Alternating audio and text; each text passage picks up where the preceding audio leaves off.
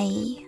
In front of me is Samsung Galaxy S23 Ultra and today I would like to show you how you can switch on or off fast charging on this device.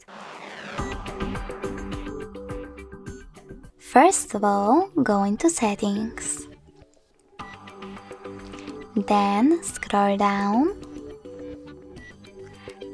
click on Battery and Device Care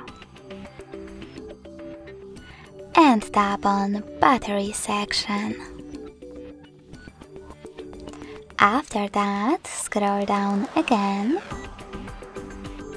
click on More Battery Settings and scroll down one more time. Finally, click on this gray switcher next to fast charging to switch it on. You can switch it off by tapping on the same, now blue one.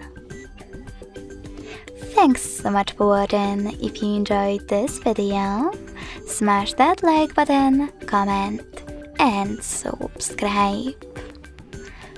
Bye!